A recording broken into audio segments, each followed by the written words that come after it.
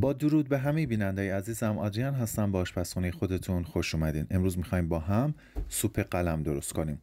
مثل همیشه من این خوراک رو تو منزل درست می‌کنم بسیار مقویه و دوست داشتم با شما بیننده عزیزم به اشتراک بذارم. اگه برای اولین بار دارین ویدیو رو تماشا می‌کنین یادتون نره کانالم رو subscribe کنید و اگه دوست داشتین جدیدترین ویدیوام رو زودتر از همیشه تماشا کنین پایین همین ویدیو روی شکل زنگوله کلیک کنید. مواد اولیه قلم 300 گرم. پیاز متوسط رنده شده یک عدد. آب سه پیمانه. جو پرک شده نصف پیمانه. سیر رنده شده دو حبه.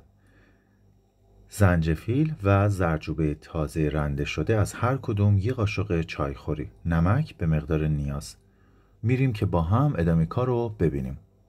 در ابتدای کار قلم ها رو داخل قابلمه بریزید. من امروز از قلم گوسفند استفاده کردم. اگر در دسترس نبود می‌تونید از قلم گاو هم استفاده کنید. مقدار آبی که داریم رو اضافه می‌کنیم.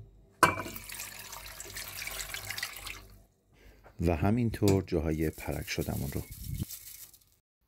پیازای رنده شدمون رو هم اضافه می‌کنیم.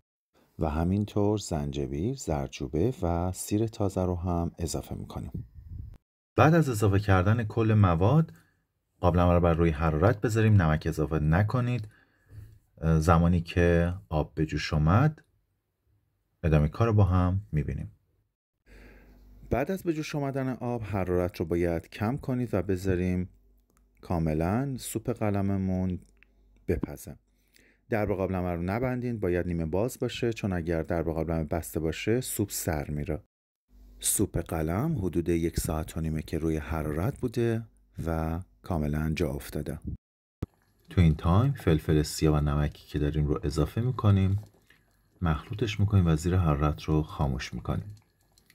داخل ظرف مورد نظر میریزیم و پایان کار رو با هم می‌بینیم. سوپ قلم ما حاضر شد مثل همیشه تقدیم شما. بسیار خوشمزه و مقویه. حتما درستش کنید و نظراتتون رو برای من کامنت کنید. برای درست کردن خورش کرفس یا قرمه سبزی یا انواع سوپ ها شما می‌تونید از آب این سوپ استفاده کنید. بسیار خوشمزه میشه و طعم خیلی خوبی به غذاتون میده. امیدوارم از این برنامه لذت برده باشین. اگه این ویدیو رو دوست داشتین لایکش کنید و به اشتراک گذارش رو فراموش نکنید. مرسی که تا به اینجای برنامه با من بودین. تا یه برنامه دیگه شاد و پیروز باشین. بدرود.